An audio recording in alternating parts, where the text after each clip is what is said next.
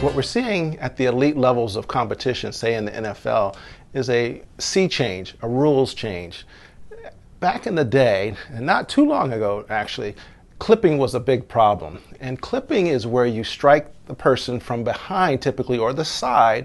And what happens, unfortunately, is you sustain a major tear to the knee. It's the, we used to call it the terrible triad. So you'd get two ligaments and the meniscus torn and it was a very long rehabilitative process, perhaps after surgery. Well, with Regenexx model, we can apply some of these treatments to the knee and afford you a much quicker recovery.